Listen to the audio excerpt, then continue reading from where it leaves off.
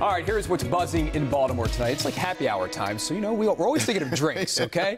yes, and this one right here has to do with alcohol and the Nationals. Move over Natty Light. How about some Nationals Light? Anheuser-Busch temporarily renaming its new hard seltzer to show support for the Nationals during their World Series bid. They've been killing it so far. A limited number of these cans are available, but they weren't actually printed that way.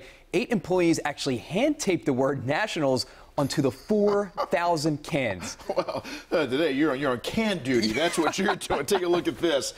if you're looking for a spooky place to stay this Halloween, you might want to check out the Lord Baltimore Hotel. It's downtown. It was just named one of the 25 most haunted hotels in the country.